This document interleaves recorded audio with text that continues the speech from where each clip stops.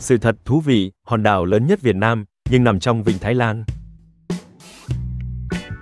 Bạn có biết, ngoài vịnh Bắc Bộ, Việt Nam còn sở hữu một vùng vịnh rộng lớn khác, mang ý nghĩa chiến lược quan trọng, đó chính là vịnh Thái Lan. Hãy cùng chúng tôi khám phá vùng vịnh đầy tiềm năng này, với những câu chuyện hấp dẫn, và những điều thú vị mà có thể bạn chưa biết. Vịnh Thái Lan nằm ở phía Tây và Tây Nam của Việt Nam, trải dài trên một vùng biển có nhiều tranh chấp nhạy cảm về địa lý và chính trị với các quốc gia láng giềng. Điều đặc biệt là, hòn đảo lớn nhất của Vịnh Thái Lan, cũng như những hòn đảo đặc biệt nhất của vùng vịnh này, đều thuộc chủ quyền của Việt Nam. Vậy, những tỉnh nào của Việt Nam giáp với Vịnh Thái Lan? Những tỉnh này có điều gì thú vị? Và Vịnh Thái Lan mang đến những câu chuyện gì hấp dẫn? Hãy cùng chúng tôi khám phá ngay sau đây. Trước khi bắt đầu video, đừng quên nhấn like, đăng ký để ủng hộ kênh nhé. Nếu video hay, bình luận số 1, còn không hay bình luận số 2, cảm ơn các bạn. Vịnh Thái Lan, một cái tên nghe thật quen thuộc, nhưng bạn có biết, trước đây, nó còn được gọi là Vịnh Chân Lạp hoặc Vịnh Siêm La. Vịnh này là một phần của Biển Đông, thuộc Thái Bình Dương, và được bao bọc bởi bốn quốc gia, Malaysia, Thái Lan, Campuchia và Việt Nam. Vịnh Thái Lan là một trong những vùng vịnh quan trọng của Việt Nam, cùng với Vịnh Bắc Bộ, cả hai đều là những vùng vịnh rộng lớn. Vịnh Thái Lan có tổng diện tích lên tới 320.000 km vuông, tương đương với diện tích của cả nước ta. Chiều dài của vịnh khoảng 800 km và chiều rộng tối đa là 560 km. Danh giới của vịnh được xác định bằng đường nối từ mũi Cà Mau của Việt Nam tới thành phố Kota Baru trên bờ biển của Malaysia. Có một điều thú vị là, dù vịnh này giáp với cả bốn quốc gia, nhưng lại được gọi là vịnh Thái Lan. Tại sao không gọi là vịnh Malaysia, vịnh Campuchia hay vịnh Việt Nam? Lý do là, phần bờ biển của Thái Lan ở vịnh này chiếm đa số. Tuy nhiên, tên gọi này không phản ánh chủ quyền hoàn toàn của Thái Lan đối với vùng biển này, cũng giống như biển Nhật Bản không hoàn toàn thuộc về Nhật Bản, biển Philippines không hoàn toàn thuộc về Philippines, hay biển Myanmar không hoàn toàn thuộc về Myanmar. Tương tự, Ấn Độ Dương không thuộc về Ấn Độ, Vịnh Ba Tư không thuộc về Iran, và Vịnh Oman không thuộc về Oman, vân vân. Tên gọi Vịnh Thái Lan chỉ là danh xưng, không phải là sự khẳng định chủ quyền, và bạn có thể yên tâm rằng, trên Vịnh Thái Lan vẫn có những vùng biển, và rất nhiều đảo thuộc về Việt Nam, bao gồm cả những hòn đảo đặc biệt nhất. Vịnh Thái Lan có vai trò quan trọng trong giao thông hàng hải của Thái Lan và Campuchia, là cửa ngõ ra Thái Bình Dương và Ấn Độ Dương. Vịnh này cũng từng là tuyến đường mà các cường quốc sử dụng để xâm lược Thái Lan, bởi các cường quốc thường muốn mở rộng lãnh thổ trên biển. Vịnh Thái Lan giàu tiềm năng về dầu mỏ, khí đốt và nguồn lợi thủy sản. Nơi đây có hơn 100 km vuông san hô, trong đó có 5 phần rất màu mỡ. Vùng nước nông ven biển là ngư trường quan trọng của Thái Lan, Việt Nam, Malaysia và Campuchia. Một số bến cảng lớn nằm dọc theo vịnh bao gồm Bangkok, Chatuchak, La Ẩm Cha Bang ở Thái Lan, cảng Kép, cảng Rim của Campuchia và cảng Rạch Giá của Việt Nam. Thái Lan đã rất thành công trong việc khai thác tiềm năng du lịch của vùng biển và bờ biển thuộc vịnh Thái Lan. Việt Nam chúng ta cũng đang nỗ lực để phát triển du lịch biển tại vùng vịnh này. Vịnh Thái Lan có một đặc điểm đáng chú ý là độ sâu tương đối nông. Độ sâu trung bình chỉ khoảng 45 mét và nơi sâu nhất cũng chỉ khoảng 80 mét.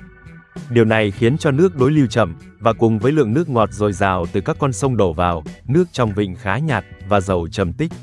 Thực ra, nếu quay ngược thời gian, chúng ta sẽ thấy vịnh Thái Lan không hề tồn tại. Trước khi nước biển dâng lên, vùng này chỉ là một phần của thung lũng sông Chao Phraya, con sông chính đổ ra vịnh. Chính vì độ sâu không lớn, nước trong vịnh tương đối ấm, tạo điều kiện thuận lợi cho các bãi san hô phát triển, thu hút du lịch biển. Giờ hãy cùng chúng tôi tìm hiểu về vùng biển của Việt Nam trên vịnh Thái Lan. Danh giới phía đông bắc của vịnh chính là mũi Cà Mau, còn được gọi là mũi Bãi Bùng, đánh dấu điểm cực nam trên đất liền của Việt Nam.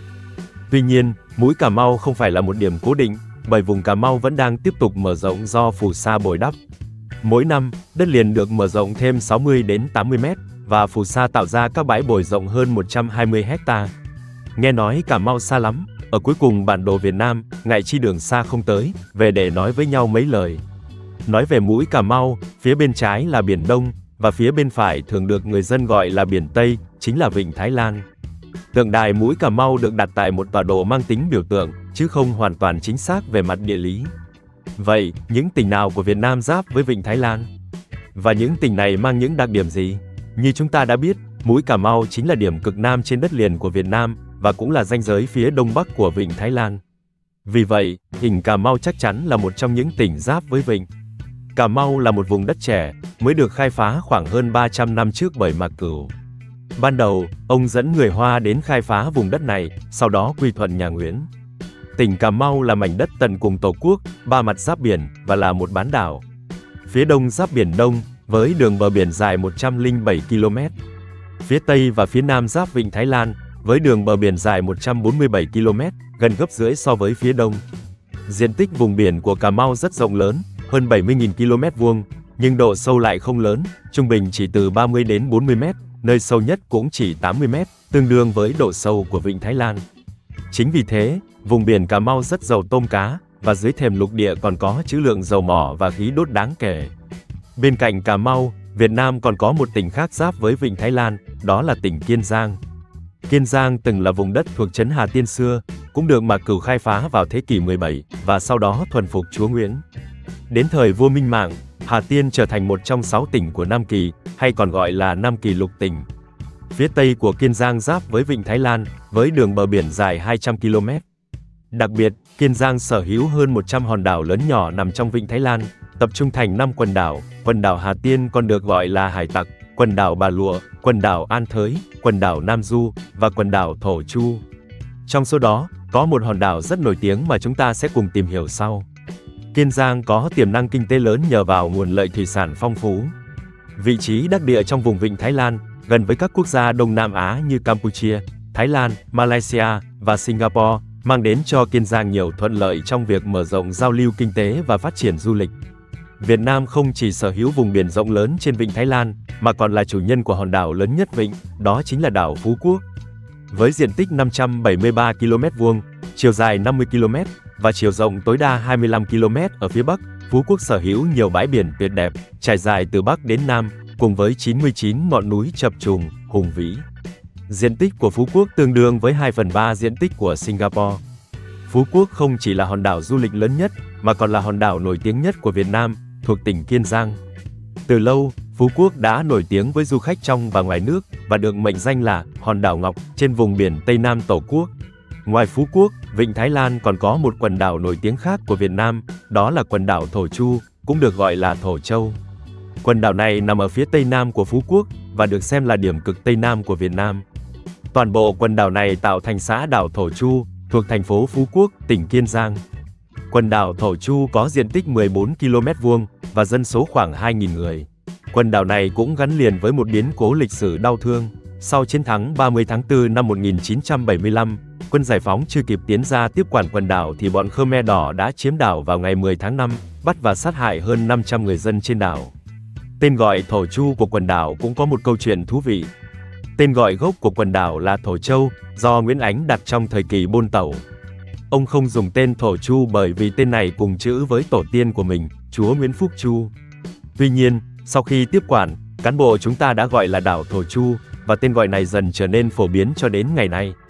Trên vịnh Thái Lan, Thái Lan từng ấp ủ kế hoạch xây dựng kênh Kra để nối liền Ấn Độ Dương và vịnh Thái Lan. Ý tưởng này được Hoàng gia Thái Lan đề xuất từ cuối thế kỷ 18, nhưng không thể thực hiện.